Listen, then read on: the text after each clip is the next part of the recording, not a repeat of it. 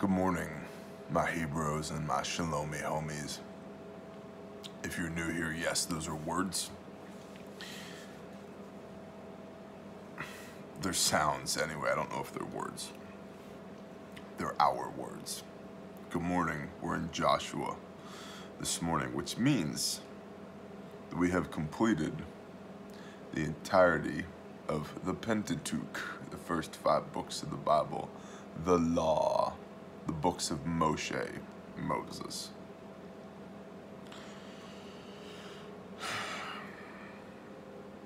I don't know if I'm happy or if I'm sad about that. It's a milestone anyway. We're in Joshua this morning, which is page 225 in the scriptures. So, just out of the Old Testament, we've read 225 pages of this word together. And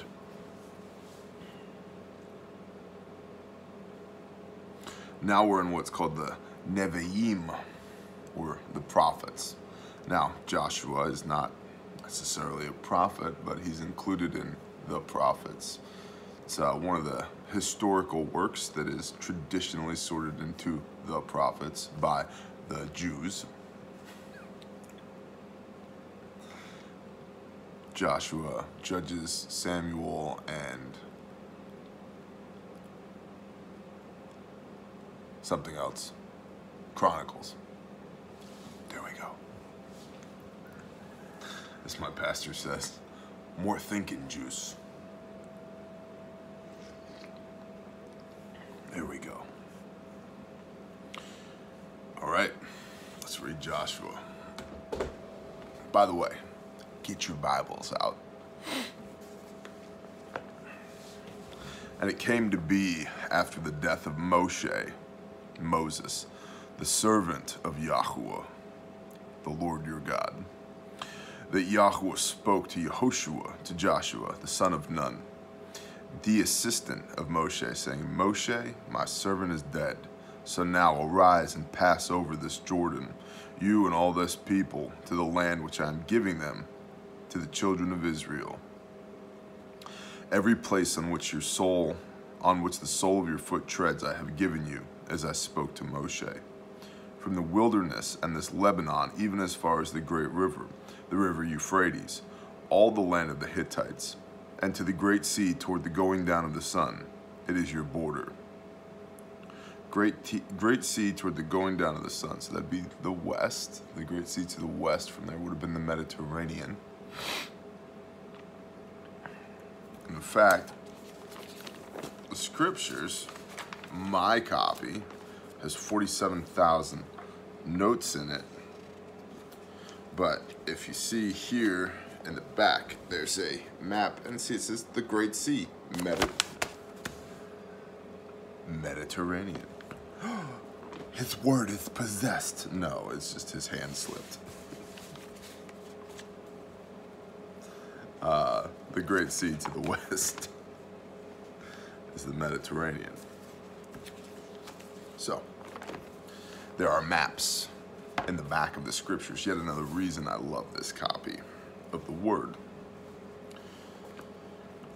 And for those that are new, I'm reading out of the scriptures. You can get it at www.messianic dash no, yeah. ISR India Sierra Romeo dash messianic.org.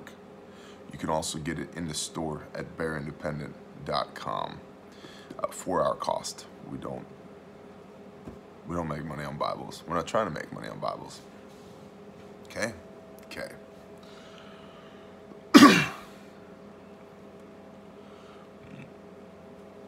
no man, verse 5, is going to stand before you all the days of your life. As I was with Moshe, so I am with you. I do not fail you nor forsake you. Now we're going to get into something here. In fact, we're going to pause and actually skip over something to make a point. There is a phrase, there's a verse that is wholeheartedly taken out of context constantly and consistently by the modern church. And I say the modern church, this may have been happening for thousands of years. I don't know. I am not immortal. I've not been around for thousands of years, but I have been around for uh, a while. I've spent several decades in and out of the church. And I have heard this verse bantied about, painted on walls, written on scrolls, inscribed into wood and stone. I have seen this verse everywhere by Bible thumping Sunday Christians. Joshua 1 verse 9. I'm sure if you've been around the faith a while, you've heard it too. You may not have known where it's come from, but here it is. Have I not commanded you? Be strong and courageous.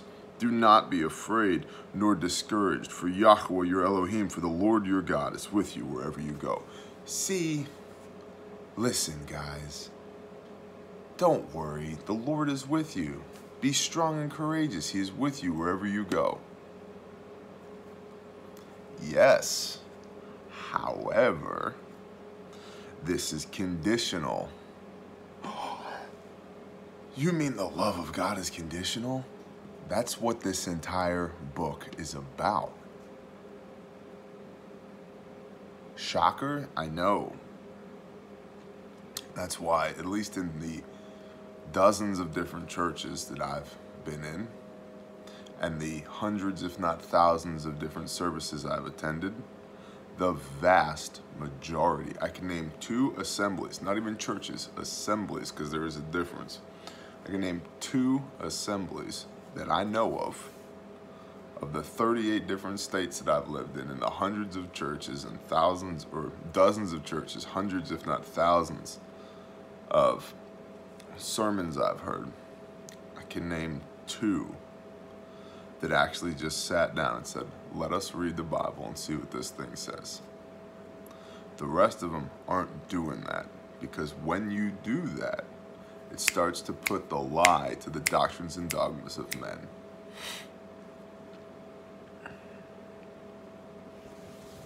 So, now, starting at verse 6 of Joshua, this is the conditional. And I'm promising you the next time you hear somebody bring this up, you need to tell them not to quote this out of context. Do not quote just Joshua 1 9. Start at Joshua 1 6 through 1 9. Be strong and courageous, for you are to let this people inherit the land which I swore to their fathers to give them.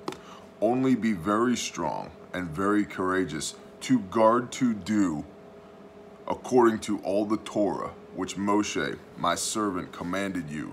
Do not turn from it right or left, so that you act wisely wherever you go.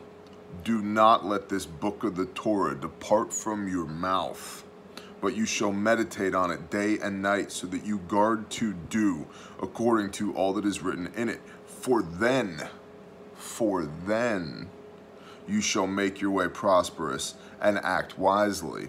Have I not commanded you? Be strong and courageous. Do not be afraid, nor be discouraged, for Yahweh your Elohim is with you wherever you go.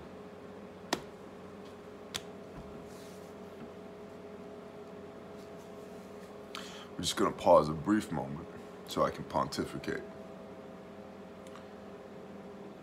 The very same people that will inscribe this Joshua 1 9 verse everywhere have I not commanded you, be strong and courageous? Are the same people that will tell you that the law was done away with and nailed to the cross because they have zero understanding of Colossians 2.14 because again, they don't read anything in context. They cherry pick verses. Well, conditional here is only be strong and very courageous to guard to do according to all the Torah which Moshe, my servant, commanded you. Do not turn from it right or left, so that you act wisely wherever you go. Do not let this book of the Torah depart from your mouth, but you shall meditate on it day and night, so that you guard to do according to all that is written in it. For then, for then, you shall make your way prosperous and act wisely. Have I not commanded you? Be strong and courageous, do not be afraid. Nor be discouraged, for Yahweh your Elohim, the Lord your God, is with you wherever you go. The very same people who want to tell you that Joshua 1 verse 9 is still in play. Have I not commanded you? The Lord your God is with you wherever you go. We'll tell you that verses 1, 6 through 8 are done away with because of Yeshua. Explain that to me without jumping through any doctrinal hoops, without bringing up any dogma of men, just using this Bible.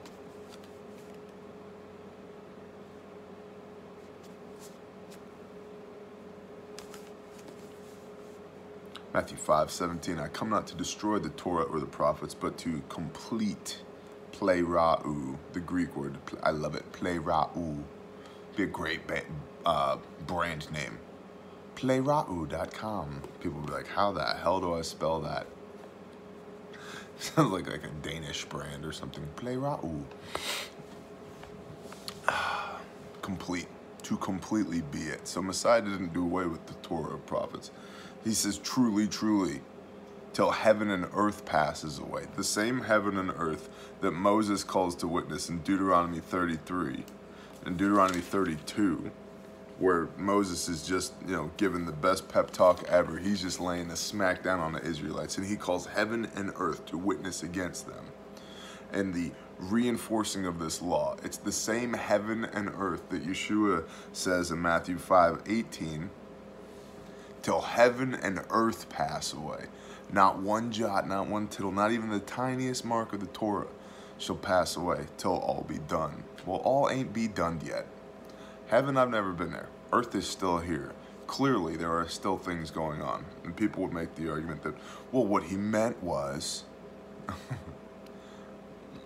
Tell me what he meant 2,000 years later, not having walked with him daily for three years been one of his apostles, not having read the entirety of this book. Tell me what he meant. What he meant was the work that he did on the cross. That's what he meant by all be done. Is heaven still here? My guess is yeah. Is earth still here? I'm to go with yeah. And by the way, the men who walked with him daily for years still got Yeshua wrong. He was constantly rebuking them. Constantly. Because they were getting it wrong. And now you're going to reverse engineer what you think he said 2,000 years later to suit your doctrines and dogmas of men. It's a very dangerous game to play. That's why we read things in context, because the likelihood of getting this stuff wrong is very high. It's even higher when you don't read things in context. When you just cherry pick verses and use them like Legos. I like this piece and I like this piece and I'm going to build this little thing that I call my personal faith. And this is what I believe. Well, that's why Yeshua says in Matthew 7 24, Depart from me, you who work lawlessness, for I never knew you.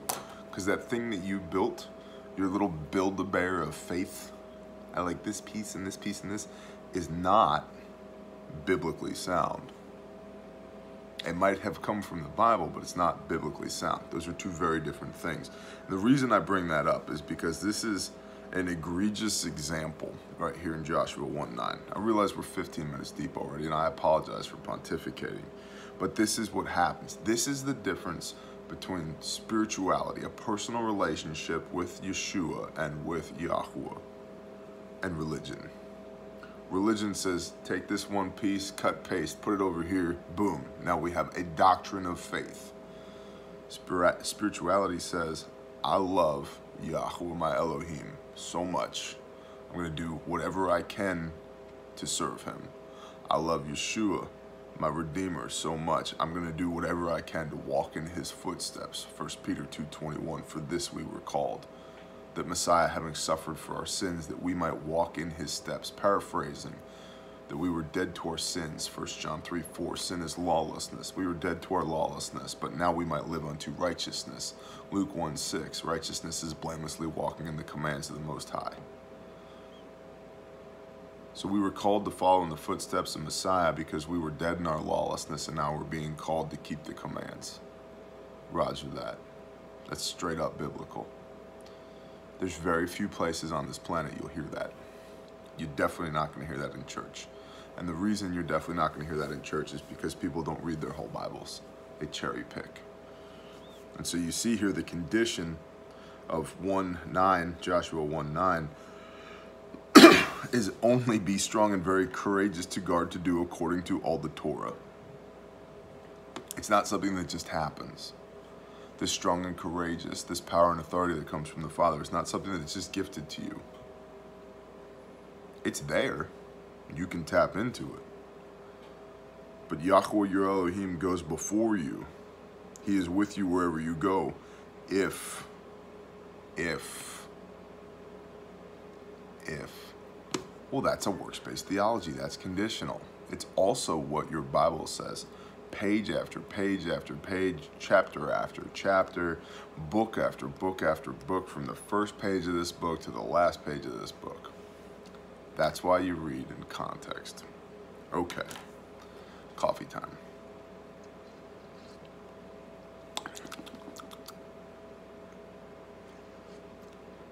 By the way, thank you again for these cups, brother. They're freaking awesome. Very, very good. And Yehoshua, Joshua, commanded the officers of the people, saying, Pass through the midst of the camp and command the people, saying, Prepare food for yourselves. For within three days you are passing over this Jordan to go in to possess the land which Yahweh your Elohim is giving you to possess. So he tells the officers, hey man, make some grub. Three days, we're going to cross the river. And Yehoshua spoke to the Reubenites and to the Gadites and half the tribe of Manasseh, saying, Remember the word which Moshe, servant of Yahweh, commanded you, saying, Yahweh your Elohim is giving you rest, and he shall give you this land. Let your wives, your little ones, and your livestock stay in the land which Moshe gave you behind, beyond the Jordan, but you shall pass before your brothers in fives, all your brave fighters, and shall help them, until Yahweh has given your brothers rest, as unto you.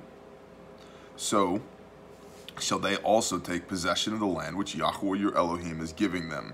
Then you shall return to the land of your possession, and you shall possess that which Moshe the servant of Yahweh gave you beyond the Jordan toward the rising of the sun. So that sounds like a mouthful, but essentially what happens here is as they're splitting up the land, which is splitting up by tribe, split up by inheritance. And again, we have maps here in the back of this book. Let me see if I can find the one that I'm looking for. That um, the Reubenites and the Gadites and half the tribe of Manasseh were essentially, here it is, we're going to stay on the east side of the Jordan. And they said, because they're looking around, they and they had lots of livestock. And they're like, bro, these pastures are the bomb. What we got to do to get these pastures, yo, Moshe? And Moshe was like, boom. You can have these pastures, but you keep your flocks, your herds, your wives, your children, your old people here, east of the river. Then all you guys are going to put on your kit and you're going across the river and you're going to go in there and help your brothers fight for their land and then you can come back.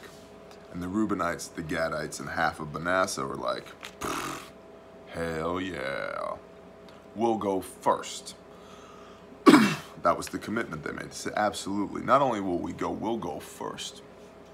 We'll be the pointy end of the spear. We'll go and we'll clear out for everybody else. And then our brothers, the rest of our tribe, can come in behind us and establish themselves, be, you know, the rear end of the line, supply chain logistics, the whole nine, but we'll go first. And so Joshua's reminding them, is like, hey guys, it's time. You still gonna go first? Because that's what we talked about. If you wanna stay on this side of the river, y'all gotta go first. And so here's the map that I was talking about right there. And so you can see East Manasseh, Gad, and Reuben are all on one side of the river. That's the side of the river that they're already on. And they're to be going across the river over here to the promised land. And they're to clear out all of this for all these other tribes. Okay? So that's what they're talking about. Yet another reason why I love the scriptures. Because it's cool. It like it helps if you're a visual person. You're like, yeah, man, that was good blah blah blah of the Hebrew words for the last 10 verses. What does it mean? Well, that's what it means. okay. Verse 16. And they answered Yehoshua, Joshua, saying, All that you have commanded us, we do, and wherever you send us, we go. They're like, You got it, boss. According to all that we obeyed Moshe, so we obey you. Only let Yahweh your Elohim, it's interesting how they say, this is a quote, only let Yahweh your Elohim be with you as he was with Moshe. They're like, man, whatever you say, we're going to do. Just let Yahweh, who was with Moshe, be with you. Now, of course, we have that at the beginning here in Joshua. Um, Verse 5 No man is going to stand before you all the days of your life. This is Yah speaking to Joshua. As I was with Moshe, so I am with you. I do not fail you nor forsake you.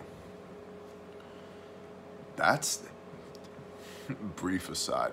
Imagine you're a mere mortal and your your boss, your mentor, guy you spent 40 years with, and service to, at least, has just passed away. And you inherit essentially this empire of millions of people, tens of millions of animals, and what's gonna be, you know, millions of square miles of land. And your boss just died. Your mentor just died. And now it's on you.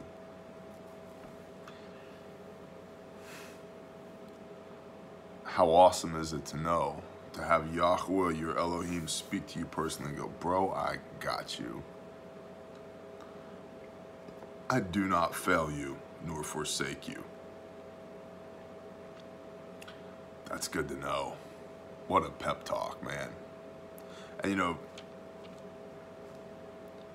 those short little snippets is how Yah talks to me. Brevity code. I do not fail you nor forsake you. And so, what the Reubenites, Gadites, and half of Manasseh are saying, they're like, man, we will go wherever you go. We will do whatever you tell us to do.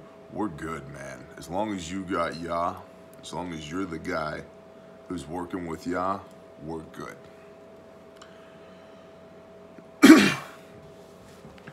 According to all that we obeyed Moshe, so we obey you. Only let Yahweh your Elohim be with you, as he was with Moshe. Whoever rebels against your mouth and does not obey your words, and all that you command him, is put to death. Only be strong and courageous. How about a little bit more context, modern church? Whoever rebels against your mouth and does not obey your words, in all that you command him is put to death. Only be strong and courageous. Well, that's what Jesus did. He removed that death. That's why we don't have to follow the law anymore. Uh-uh. He has blotted out what was written against us by hand. Colossians 2.14. What was written by hand what was nailed to the cross. Who wrote the commandments? written with the finger of Elohim. What was written by hand means written by men. It's the doctrines and dogmas of the Yehudim, the Yehudi, the Jews, the legalists who made up lots and lots and lots of extra rules. Not the Father's perfect law. And so the death sentences that they were earning literal death sentences that they were earning from the Yehudi, the Jews, for not keeping their doctrines and dogmas of men were done away with by the sacrifice of Yeshua, who was the prophesied Messiah, who is a king that returns the Father's people, Israel, which is us right now. Israel literally means he who overcomes with Elohim to the Father. Good news kings have rules, kings have laws. However, Yeshua says, Come to me, all ye who labor, for my yoke is easy, my burden is light. But people ignore the fact that there's a yoke, there's a burden. But that yoke, that burden is a blessing. How are you supposed to play the game when you don't know what the rules are? What's sin? Well, brother, sin is anything you do that makes God angry. Sin is falling short of the mark. What mark? Well, you know that. No, I don't know. Well, you see that. No. How about you? Open your Bible. You flip to 1 John 3 4. I'll wait. Sin is transgression of the law. Any, anyone who does sin also does lawlessness. Sin is lawlessness. It's lawlessness.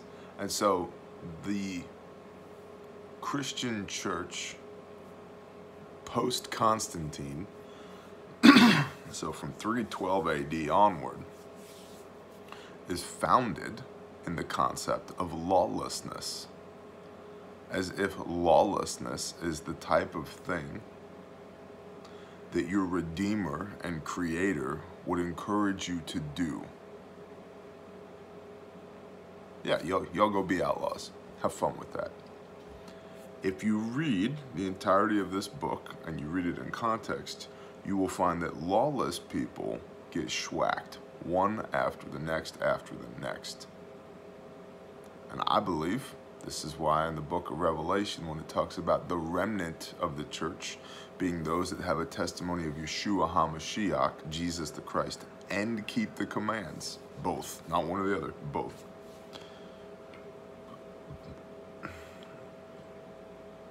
There's a lot of lawless people who think they're good to go, who think they've got their fire insurance, who think that their salvation is squared away. And I don't believe so.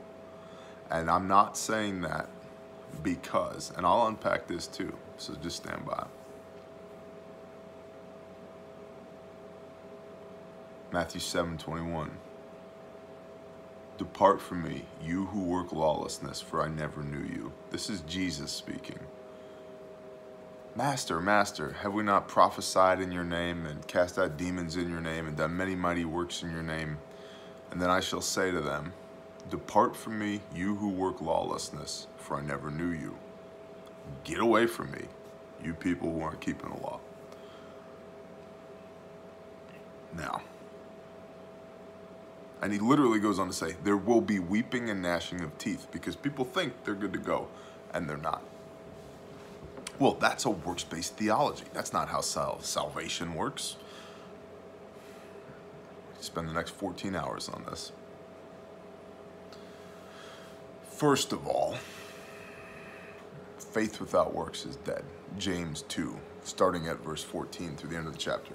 Just as a body is dead without a soul, so is faith without works dead. So faith without works is dead. So don't talk to me about works. You say you have faith? I will show you my faith by my works, which is what James, Jacob, the literal blood brother of Yeshua, who walked around the face of the earth with the man, had to say on the subject. So I'm going to take his opinion over it, uh, on it, rather than anybody else's. Okay? Next, 1 Peter 2.21, For this you were called, the Messiah having suffered for your sins, that we might walk as he walked, that we might walk in his steps, that in him was no sin. What's sin? 1 John 3 4. Transgression of the law. That we, having been dead in our sins, our lawlessness, might live unto righteousness. Luke 1, verse 6. And you guys can look all this up on your own, and I would encourage you to do so. Don't subcontract your faith to me, and don't take my word for it. Luke 1, verse 6. Righteousness is blamelessly walking in all the commands of Yahweh.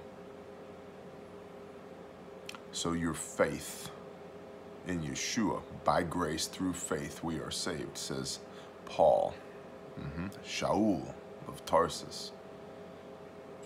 By grace through faith, by the grace of Messiah, you are not going to suffer the death sentence that you've earned. It was nailed to the cross, which was a stake, by the way, not a cross. But I digress. It was nailed to the stake. So that literally 1 Peter 2:21. Go read 1 Peter 2:21 on to the end of 1 Peter 2. Just read the end of that chapter. So that you might live unto righteousness. So that you in your lawlessness earned a death sentence. And that's what Yeshua did away with. And what's left is for you. The reason he did that is so that you might live unto righteousness. And the final proof of this is in Hebrews 8, verse 6 through 12. In fact, you can go verse 6 through 13 because it lays out in verse 6 that Yeshua is the mediator of a renewed covenant. You say, well, that's all old covenant stuff. Yeshua, Jesus, is the mediator of the renewed covenant. Copy that. Hebrews 8 8. What is the condition of the renewed covenant? Not like the covenant that I made with uh, the children of Israel when I brought them out of the land of the Mitzrayim by a strong hand. No, not that. 810. And I shall make with the house of Israel a new covenant with the house of Israel, not the Pentecostals, the Mormons, the Presbyterians, the Baptists, the Catholics, the house of Israel. I shall make with the father's chosen people, with the house of Israel, a renewed covenant, having their laws in my mind, having the Yahweh, the Lord your God, having his laws in your mind and written on your heart. And then he will be our Elohim and we will be his people. So this belief in Yeshua, belief should spur you to works, James. And those works should be in line, James 2.14. And those works should be in line with what Messiah did, 1 Peter 2.21 because for this you were called, the renewed covenant, Hebrews 8.6 through 8.13.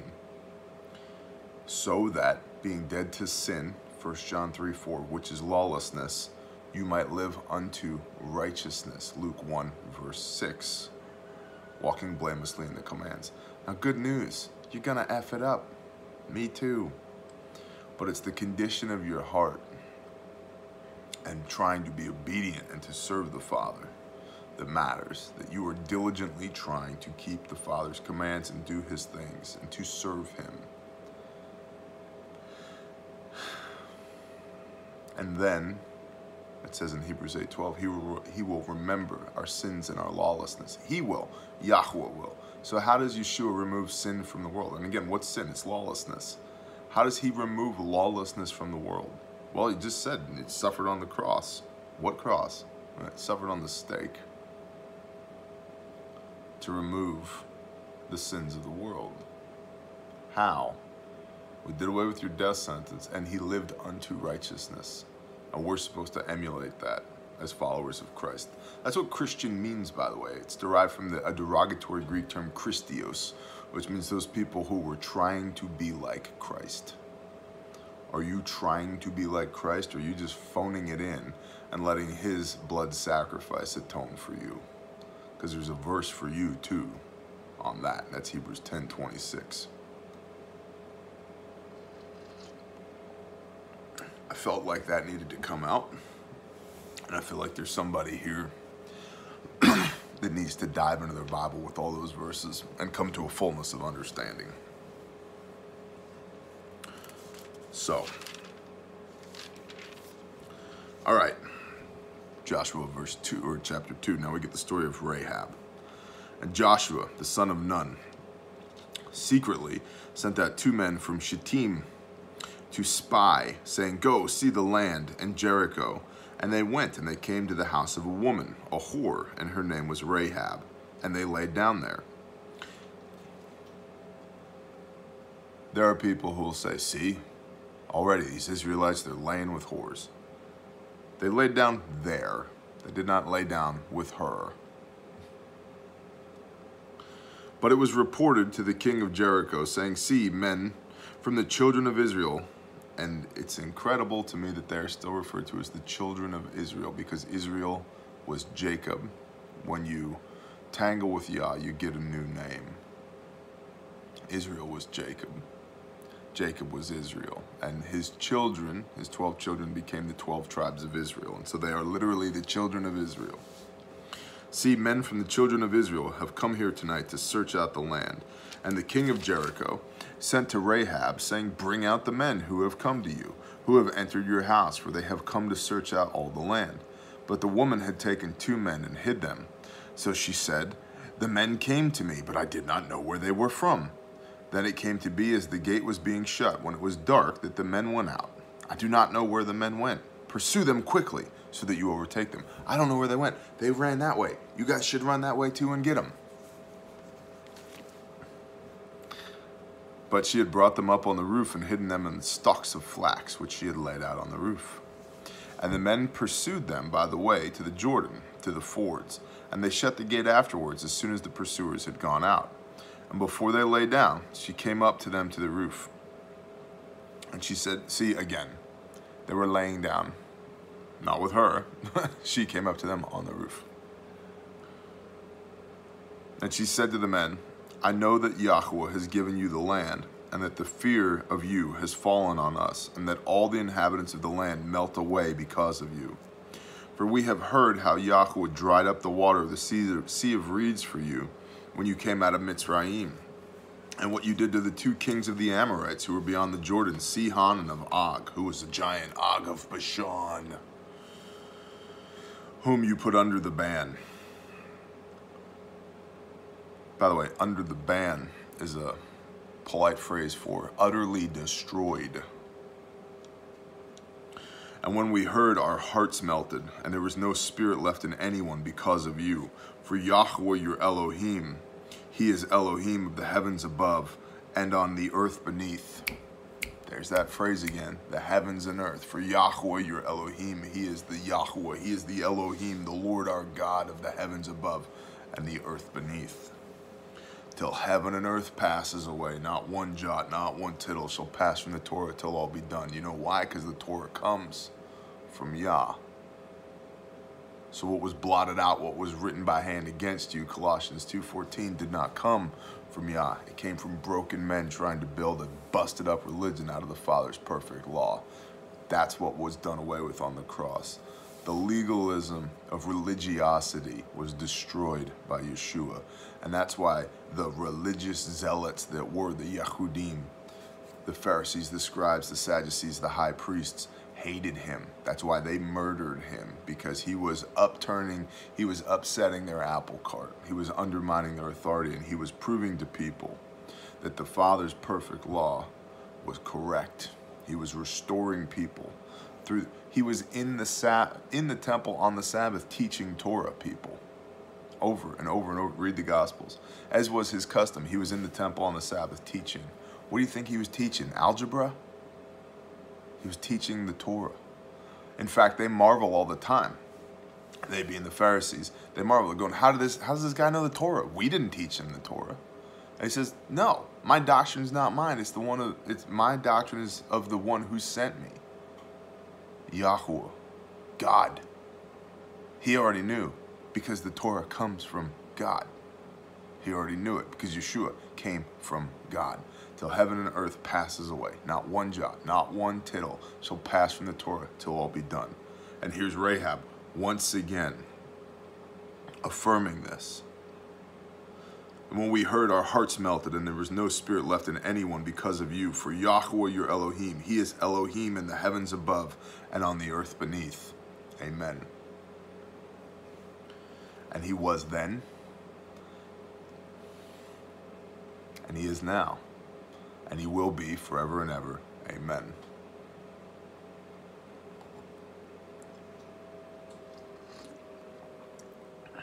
And now, please swear to me by Yahweh, since I have shown you loving commitment, that you also show loving commitment to my father's house, and shall give me a true token, and shall spare my father, and my mother, and my brothers, and my sisters, and all that they have, and shall deliver our lives from death. She said, Look, we realize that Yahweh is the one true God. He's sovereign over everything, heavens and earth, man. And we know you Israelites are a bunch of bad mamma jammas. You guys put Og of Bashan under the ban. You've completely destroyed Sihon, We don't want any of that. And we know you're coming here too. We know that the people are going to melt away before you. And uh, I've helped you. Can you help me? Can you not murder my entire family and me included? And the men said to her, Our lives for yours. If you do not expose this matter of ours, then it shall be, when Yahweh has given us the land, we shall treat you in loving commitment and in truth. So she let them down by a rope through the window, for her house was on the city wall, and she dwelt on the wall. And she said to them, Go to the mountain, lest the pursuers come upon you. And you shall hide there three days until the pursuers have returned, and afterwards go on your way. Y'all go to the mountain, stay there three days. Okay? These guys are looking for you. When they come back here, which will be about three days, then y'all go and head home. And the men said to her, We are released from this oath of yours, which you have made us swear, unless, when we come into the land, you bind this line of scarlet cord in the window through which you let us down, and unless you bring your father and your mother and your brothers and all your father's household to this home. And it shall be that anyone who goes outside the doors of your house into the street, his blood is on his own head, and we are innocent and anyone who is with you in the house, his blood is on our head if a hand is laid on him. And if you expose this matter of ours, then we shall be released from your oath which you made us swear. And she said, Let it be according to your words. And she sent them away, and they went, and she bound the scarlet cord in the window. So they said, Look, this is, again, very tactical, practical. It may not sound like it, but it is. They see this rope that we just climbed down, this red rope, tie this red rope in your window so we'll remember this is the house. And we'll tell everybody, when you see a house with a red rope tied in the window, don't go in there. And as long as you and your whole family is inside the house, you're fine. If they come outside of this house, we can't be held responsible for what's going to happen. That's on you.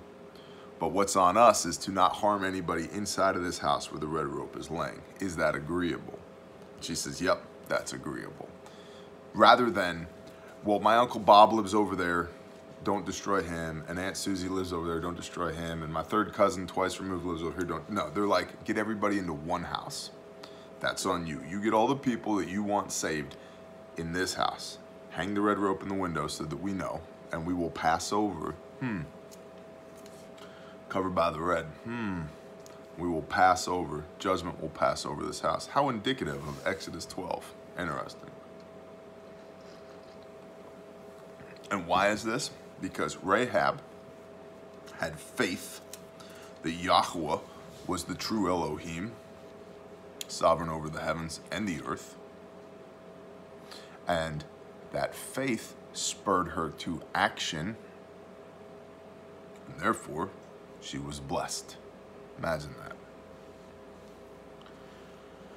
So they left and came to the mountain and stayed there three days until the pursuers returned. And the pursuers sought them in all the way, but did not find them. Then the two men returned and came down from the mountain and passed over. And they came to Yehoshua, the son of Nun, and related all to him that had befallen them. And they said to Yehoshua, Truly, Yahweh has given all the land into our hands, and also all the inhabitants of the land have melted away because of us.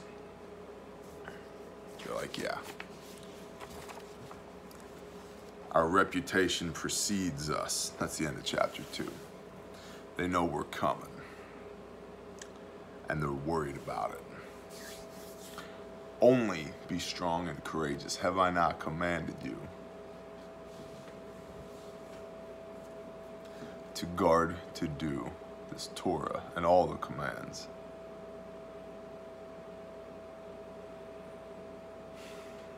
You know, and I play devil's advocate with myself all the time. People like to throw verse after verse after verse, especially Pauline verses, Romans, Galatians, Ephesians. I said, well, you don't understand because Paul said, like, yeah, you know, I've, I've read all those four times and uh, I'll read them again. And I often do just go back and read them again.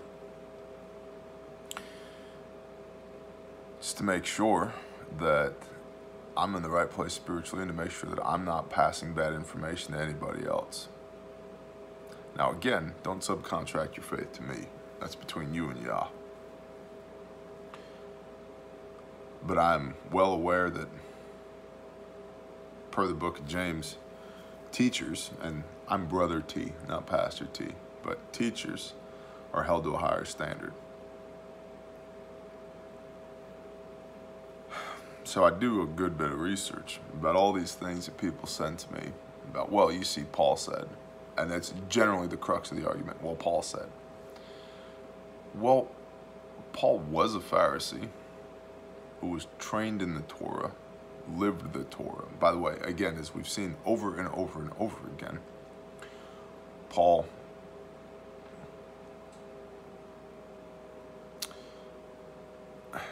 the Torah is something you do. You guard to do the Torah. You do not simply just talk about it. You do not simply just research it. You do not simply just give a sermon on it. You do it. You have to do it. Guard to do all these commands. And Paul did. In fact, in Acts 15, verse 15 through 19, they make it clear what do the Gentile believers need to do who are coming to believe in Messiah? abstain from idolatry, abstain from whoring, abstain from strangulation, abstain from blood, and then go to the temple on the Sabbath and hear the words of Moshe. All of that is Torah. So, what do these Gentile believers in Messiah, in Jesus, need to do to join the church, to join the assembly? These five things, all of which are Torah. Acts 24, verse 14. Hell, I'll tell you. The words of Paul himself. And this is why, again, it's dangerous to take things out of context. Because Paul, well, I'll use his words. The idea, the idea that Paul would be advocating against the Torah is absurd. Acts 24, starting verse 14. And this, this is Paul speaking, Shaul of Tarsus. And this I confess to you that according to the way, capital W way, remember Yeshua said, I am the way, the truth, the life. According to the way, which they call a sect, so I worship the Elohim of my fathers. The who? I worship the Elohim of my fathers, Yahweh or Elohim, believing in all that has been written in the Torah and the prophets. So this I this I confess to you that according to the way, which they call a sect. He is a believer in the way. Yeshua is the way, the truth, the life. I worship the Elohim of my fathers, believing all that has been written in the Torah and the prophets. So, step one right there is that Paul, the first thing he says is this I confess to you. I worship the Elohim of my fathers, and I believe in all of the Torah and the prophets. I thought it was done away with. I thought it was nailed to the cross. Uh, I thought it, that was all covered by the blood of the Lamb. Nope. This I confess to you, that according to the way, which they call a sect, so I worship the Elohim of my fathers, believing all that has been written in the Torah and the prophets. Verse 15. Having an expectation in Elohim, which they themselves also wait for. They themselves. For there is to be a resurrection of the dead, both the righteous and the unrighteous. And then this I exercise myself to have a clear conscience towards Elohim and men always. So Paul believes, believing in all the Torah and the prophets, and he has an expectation in Elohim for the resurrection of the dead. So Paul believes in the Torah, the prophets, the resurrection. And so Yeshua said, when he says in Matthew 5 17 that I came not to destroy the Torah or the prophets, but complete it, you get the Torah, the prophets, the resurrection. When Yeshua is transfigured on the mount, the Mount of Transfiguration, who's there with him? Moses, Moshe, and Elijah, Eliyahu. Elijah, and Moses, the Torah, the prophets, and the resurrection. Moses, Elijah, Yeshua. There are two men outside the tomb when the stone is rolled away, angels who are standing there. When Mary Magdalene and Miriam, Yeshua's mother, come to the tomb. I believe those two men were Moshe and Elijah and Yeshua, the Torah, the prophets, the resurrection. The two witnesses in Revelation and end times who preach uninterrupted on the Temple Mount. Strong belief by many, many people who are much smarter than I am that those are Elijah and Moses. And what are they doing? They're preaching the return of Yeshua, the Torah, the prophets, the resurrection. It's about a fullness of understanding. Paul understood it. What was missing from the Torah and the prophets was the resurrection. What is missing today for everybody who believes in the resurrection, as you should, is the Torah and the prophets. And so back then, they had the Torah and the prophets. They didn't have the resurrection. And they did not have a completeness of understanding. Today, we have the resurrection, but by and large, we don't have the Torah and the prophets. And so there isn't a completeness of understanding. And that's what I believe. I believe this whole book. I do not believe it's a coincidence that they bind the entirety of it in one binding and that they separate it by one page. It's what? You need a micrometer to figure out how thin it is. As if it's somehow a coincidence. And the idea that the Jews read the front half of the book and the Christians read the back part, it's bull. And I could talk about that for hours more but I won't. I'll instead encourage y'all to have a happy and blessed Sabbath. Shalom.